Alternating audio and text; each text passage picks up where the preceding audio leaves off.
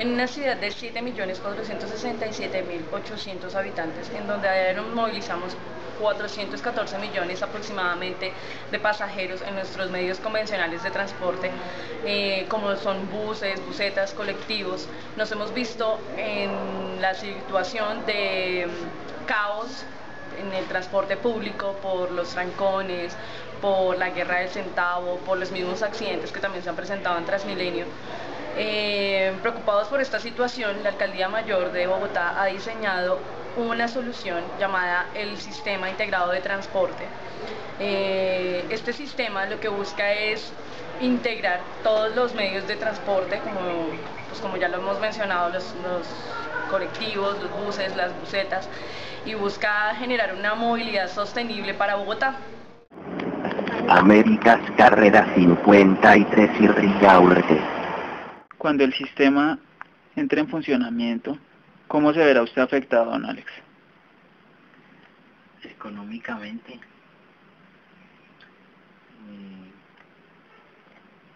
Mm, digamos mi familia. No, no se le puede brindar las necesidades que uno hoy en día les da. ¿Por qué? Porque vamos a trabajar un horario, no vamos a recibir un eh, vamos a recibir un sueldo mensual. Más o menos en cuánto está estipulado ese sueldo? Dicen que 700, 720. ¿Y en este momento más o menos cuánto se gana usted? Un promedio de millón y medio, un millón setecientos. Dice que va a ser un pajonazo de casi un 50%.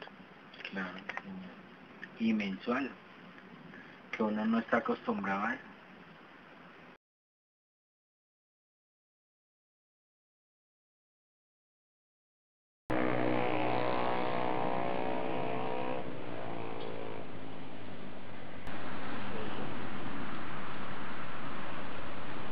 Según el Ministerio de Transporte y Fuentes, fuentes consultadas, el sistema se dividirá en 13 zonas con paraderos fijos y donde se eliminará la recepción de dineros por parte del conductor, disminuyendo la competencia entre los mismos.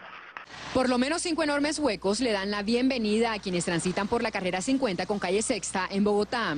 El dolor de cabeza sigue en el barrio Santa Isabel. Bucetas, taxis y motos tienen que reducir la velocidad para esquivar los huecos. Los más afectados, las llantas y la suspensión de los vehículos. Suba.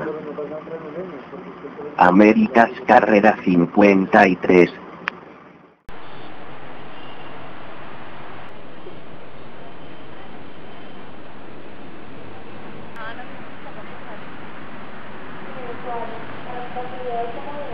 ¿Por qué fue el último paro, don Alex? El último paro fue prácticamente para arreglar la tabla de los precios de, la de las bucetas. ¿Y en qué consistía o cómo es? Para, para poderle dar un precio estable a las bucetas, no el que el patrón quería. ¿O el, o el que valía? El que valía, sino el, ya lo que va, lo que el gobierno estableció. ¿Cómo lo, ¿Cómo lo afecta usted como conductor las obras de Transmilenio? Las obras al, al carro, las hojas, las llantas.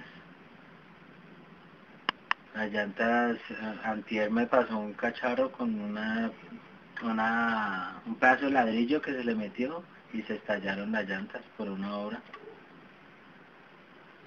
Los huecos, la vibración, uno, los riñones se dañan mucho por eso.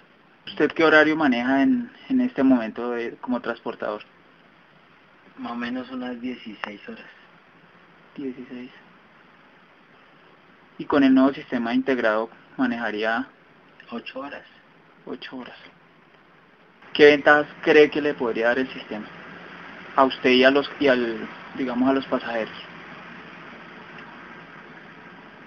A mí, personalmente, pronto más educación al usuario pues va a tener sus ventajas de, que se va a acabar la guerra al centavo. Va a haber, ya no va a haber tanto accidente por, por recoger un pasajero, muchas cosas, ¿no? Pero el, el usuario también se va a ver afectado porque va a incrementar más el, el pasaje. Que como van a cobrar el alimentador 400 pesos,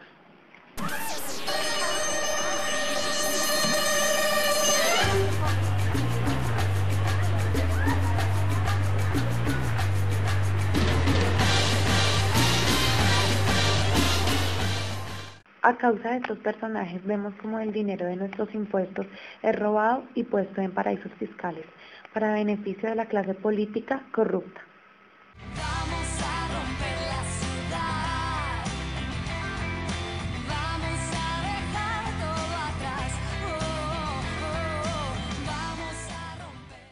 Somos la ciudad capital donde se dirige la mayor cantidad de desplazados por la violencia, donde se venden 113 mil vehículos por año, donde hay un crecimiento desaforado de habitantes y donde no se ha creado un sentido de pertenencia por la ciudad, donde el que llega solamente utiliza, vota y vive.